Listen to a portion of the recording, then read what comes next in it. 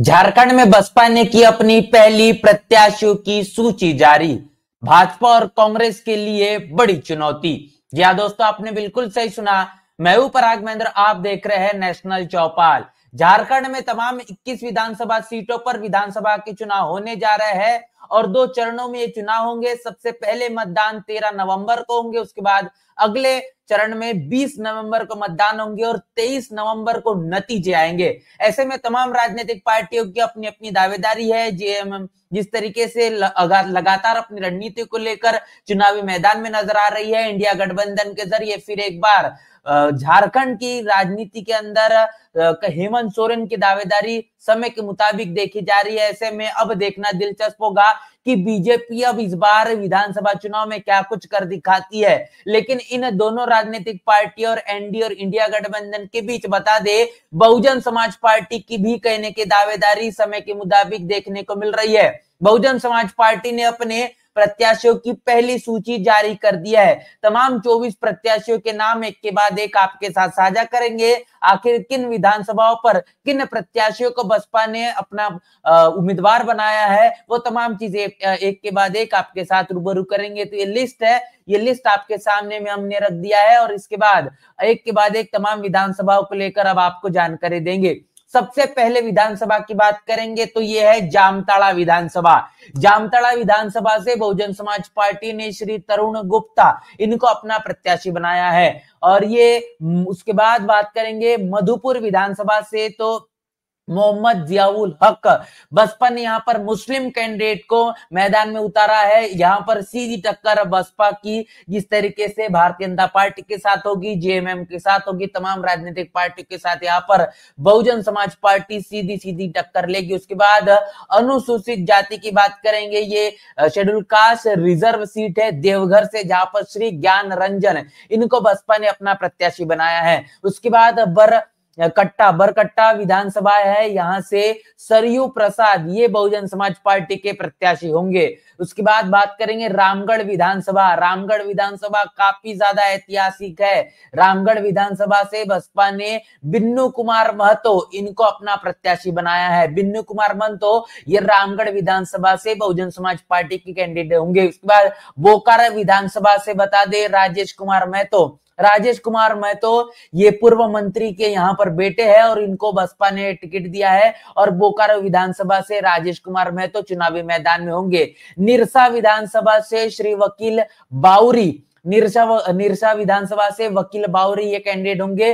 धनबाद विधानसभा को लेकर लगातार चर्चाएँ जारी थी। धनबाद विधानसभा से अनवरी खातून, इनको बसपा ने अपना कैंडिडेट बनाया है। अगली विधानसभा की बात करेंगे ये है टुंडी विधानसभा। टुंडी विधानसभा से मोतीलाल किस्कू, बसपा ने मोतीलाल किसको, इनको अपना प्रत्याशी बनाया है। बहरगोड़ा विधानसभा से सनत कुमार महतो, सनत कुमार महतो बहर गोड़ा विधानसभा से बहुजन समाज पार्टी के प्रत्याशी होंगे। जमशेदपुर पश्चिमी जमशेदपुर पश्चिमी से वृंदावन दास, ये बहुजन समाज पार्टी के प्रत्याशी होने जा रहे हैं।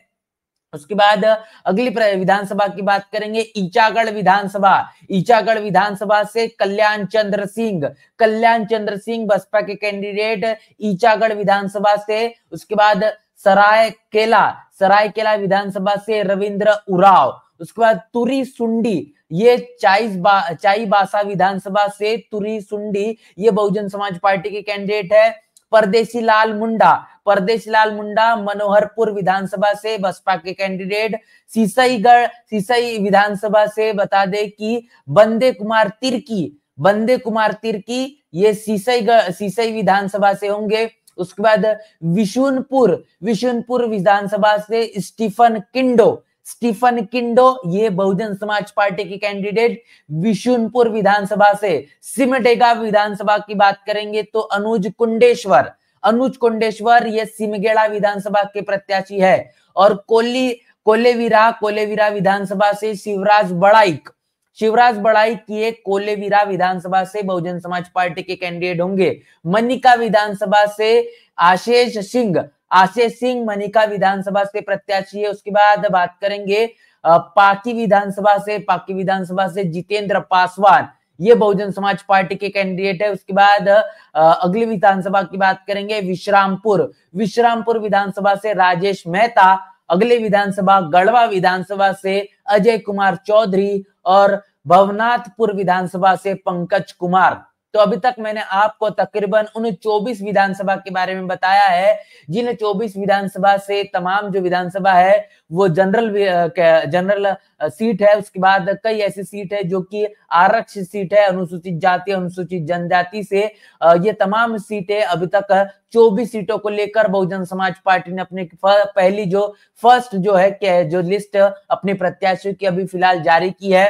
बसपा का ये कहना है कि तमाम 21 इक्यासी विधानसभा पर बसपा तमाम विधानसभा पर अपने प्रत्याशी को चुनावी मैदान में उतारेगी। फ़िलहाल ये पहली लिस्ट है और 24 प्रत्याशी इन पहली लिस्ट के अंदर दिखाई दे रहे हैं। समय के मुताबिक बता दे कि जिस तरीके से पिछले विधानसभा चुनाव की बात करेंगे, बसपा ने पिछले विधानसभा चुनाव में समय के मुताबिक उम्मीदों के आधार पर जो नतीजे झारखंड से होने चाहिए थे, वो देखने को नहीं मिले। उसके पहले अगर 2014 की बात करेंगे तो बसपा से 2014 में बहुजन समाज पार्टी के माध्यम से एक विधायक भी जीत कर आया था और वोट परसेंटेज भी काफ़ी ज़्यादा बेहतर था। जिस तरीके से वहाँ पर बहुजन समाज पार्टी ने अपनी मजबूती दर्ज की, एक सीट पर बहुजन समाज पार्टी ने 2014 में जीत दर्ज की। अब देखना दिलचस्प होगा कि इन विधानसभा चुनाव में खासतौर पर झारखंड में बसपा के माध्यम से क्या कुछ परिणाम निकल कर आते हैं? तेईस तारीख को नतीजे आएँगे और नतीजों के बाद ये पता पड़ेगा कि बसपा का जो कहीं ना कहीं पिछले बारी से इस बारी का जो परफॉर्मेंस है वो किस मुताबिक होगा? कितना इसमें बड़ा परिवर्तन देखने को मिलेगा? पूरी की पूरी चर्चा बातचीत को लेकर और तमाम झारखंड विधानसभा को, के चुनाव को लेकर, बसपा ने तमाम 24 अपने प्रत्याशी को मैदान में उतारा है इसको लेकर आपकी क्या राय प्रतिक्रिया है? लिखकर हमें कमेंट बॉक्स में ज़रूर बताए। बने नेशनल चौपाल के साथ, मिलते हैं वीडियो में, तब तक के लिए जय भीम।